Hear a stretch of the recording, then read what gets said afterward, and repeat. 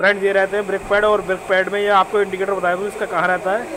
ये पत्ती लगी रहती है, इसका इंडिकेटर होता है। अगर आपको यहाँ तक ब्रेक पैड घिस गए तो आपको चेंज कराने की ज़रूरत है। इस ब्रेक पैड में हमारे ये बहुत माल है। आप इसको रेक माल मार के साफ़ करवा के